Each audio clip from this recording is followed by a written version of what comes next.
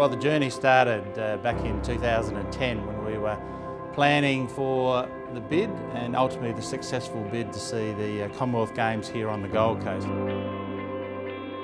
We had this opportunity, opportunity to see infrastructure develop, see people be proud of the city, and that's what the journey's been all about. The Commonwealth Games took Queensland and Australia to the world, and it was an exciting time. Gold Coast and Queensland had never been showcased like that ever before.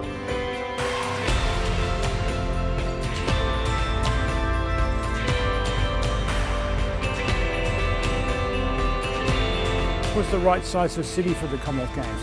You can have them in a many bigger of cities, but it's just another event. In this city, it was the event.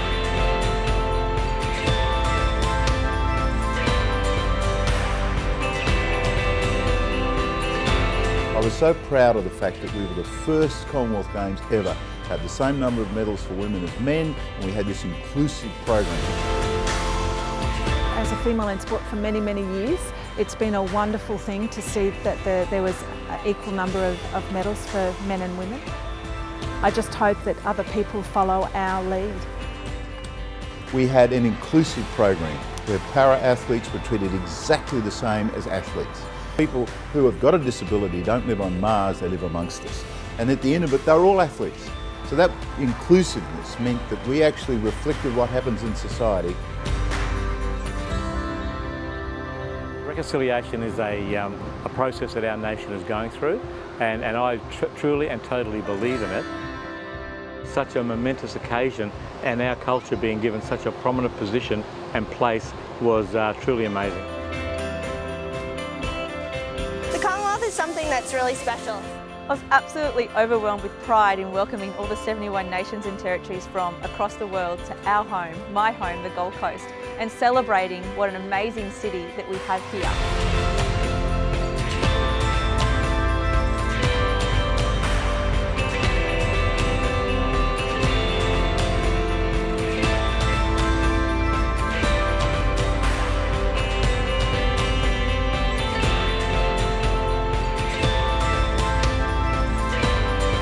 One big family with, with one thing in common. See new countries I never heard about. This is amazing, believe you me. Two strokes away from a gold medal and the record, a world record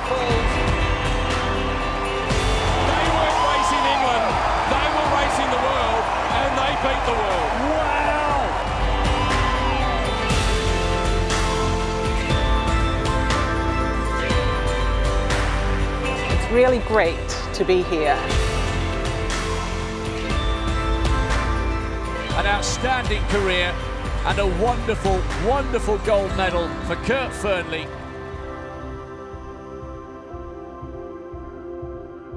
The biggest thing for me was the team we got to create that just embraced this city and the games and also the game shapers which were our volunteers and everyone else in this city that gave their time because they were so proud of their city.